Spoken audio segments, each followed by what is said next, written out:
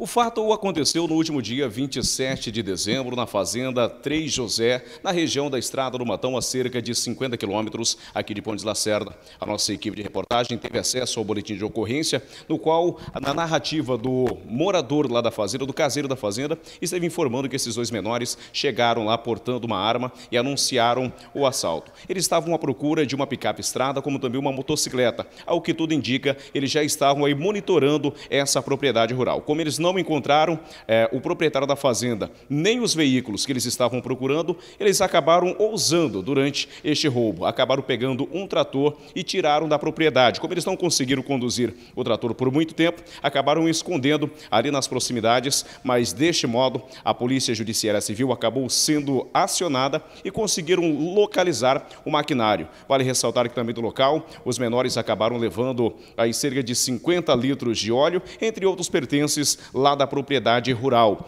Um menor de 16 anos e um de 17 com diversas passagens pela polícia. No entanto, eles estão detidos e terão que responder por este crime. Aqui no CISC, nós tentamos conversar com eles. Um deles nos explica como que foi a ação lá no local. O outro prefere ficar um pouco em silêncio. Mas este menor de 17 anos, inclusive, já tem uma passagem por homicídio. Mas fomos lá e metemos a fita. E como vocês ficaram sabendo dessa, dessa moto e dessa estrada lá? Fomos por conta própria mesmo. Quem que estava com a arma? Era eu. Como é que foi os modos operantes lá? Sei lá. Você chegou e falou, ó, nós queremos a caminhonete, queremos é, a moto e pronto. Um carro, e o cara tava... Esse, esse trator, vocês já tinham para quem vender ele? Não. Agora, né, é meio inusitado o negócio, passar com um trator pela cidade aí, sem ninguém perceber. É, ué, ia vender ele e ganhar um dinheiro. Os objetos subtraídos lá da fazenda, o que foi feito? Não tem objeto nenhum, não. Tem relógio, não, tem relógio 50 litros de óleo. Tá tudo lá no trator lá. Você é usuário de drogas? Não. Já tem passagem? Já. Qual é o artigo? 57, 33, 55. Foi isso aí que ele falou. Já. Quem que dirigiu o trator? De quem foi a ideia é, de roubar essa propriedade rural? Foi vocês dois mesmo ou tem algum, algum maior que deu a ordem para vocês fazer esse trabalho? Esse trator já tinha endereço aí, esse trator?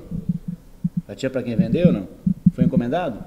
Foi isso aí que o menino falou. Já. Para obter mais informações a respeito deste fato, nós estivemos falando também com o delegado da Polícia Judiciária Civil, doutor Gilson Silveira, que nos dá detalhes de como que foi toda essa investigação para identificarem esses dois menores. É, na verdade, é, é um roubo, né? Porque envolveu violência, grave ameaça, entendeu?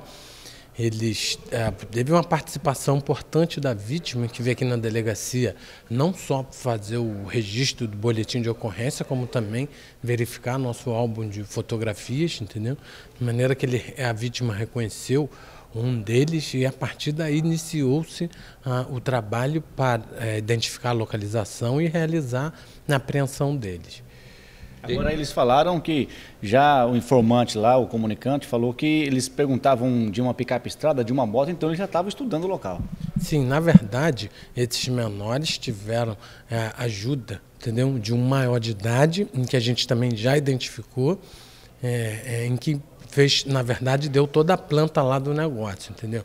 De maneira que é, é, todas as pessoas que participaram desse evento já estão identificadas, os menores estão apreendidos e o, o maior de idade vai ser representado pela prisão dele. Rosar, dia de levar um trator aí né, nesse roubo, né? Sim, entendeu? É, inclusive, eles nem tinham um conhecimento assim, técnico para conduzir trator, entendeu? Mas, é, é, ou seja, eles quando a tal caminhonete não estava lá, aí resolveram, entendeu, levar outro equipamento. Seja como for, o ilícito já foi é, é, é Agora eles vão pagar por esse ilícito aí que eles realizaram. Agora a gente percebe que um de 16 anos, outro de 17, com diversas passagens, um deles inclusive por homicídio. Sim, eles já são conhecidos, têm diversas passagens, conforme você disse, aqui na delegacia. Isso, infelizmente, é o reflexo da lei que permite que os menores não tenham é, é, uma punição mais severa, o que causa para eles uma certa sensação de impunidade. Doutor, neste caso ainda foram detidos em flagrante. Sim. É, no, no, no, caso, no caso deles é apreensão, sim, em, em flagrante. Agora, doutor, jovens de alta periculosidade, é, não tem como pedir a internação desses menores? Sim, já foi pedido nos outros eventos. Foi, inclusive, foi decretado pelo judiciário a internação, entretanto, não tem vaga em estabelecimento para menores. Por isso é que eles não, não estão aí é, é, é, soltos, né, vamos dizer assim. Ou seja, rua novamente.